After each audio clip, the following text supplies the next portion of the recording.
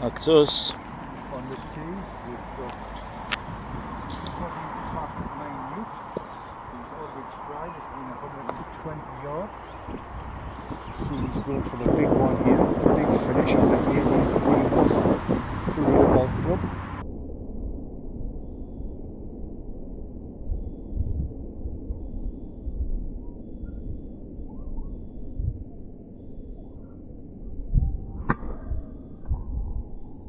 Oh, and he smashed it 125, 30, it's going up to 140.